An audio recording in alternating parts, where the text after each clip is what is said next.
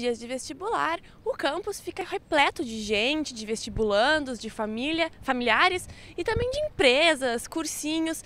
E eu estou aqui com a dona Marli, que aproveitou né, esses dias movimentados para montar a sua tenda e vender artesanato. Marli, por que, que tu escolheste vir aqui na UFSM uh, expor o teu trabalho né, nos dias do vestibular? É que a gente não fica só no vestibular. Nós fizemos essa aqui, essa feira, é a Feira de Talentos da Universidade.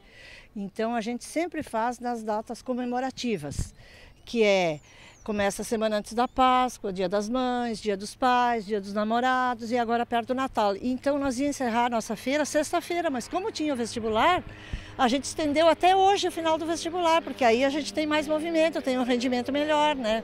E estamos aqui. E é a senhora mesmo que, que faz todos os produtos que estão aqui? O que eu tenho aqui é eu que confecciono. E que tipo de coisa a senhora tem aqui? Mostra pra gente. Eu tenho panos de prato, tenho capa de garrafa térmica, tenho batimão, ó, tenho toalhas e trabalho com roupa de bebê também.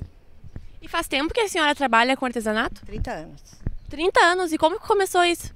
Começou porque a gente fica em casa, eu tinha meu filho pequeno, né? Não podia não queria trabalhar fora, queria cuidar o neném, né? E eu comecei a fazer artesanato nas horas de folga. E daí eu não voltei mais a trabalhar fora, continuei só trabalhando com artesanato. Estou até hoje. E essa é a sua fonte de renda, então? É a minha fonte de renda.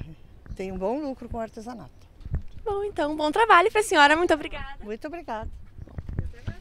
É isso aí, então. Ah, lembrando que a cobertura do vestibular da UFSM pode ser acompanhada pela TV Campus, ah, através do canal 15 da NET ou através da nossa página www.ufsm.br/tv Campus.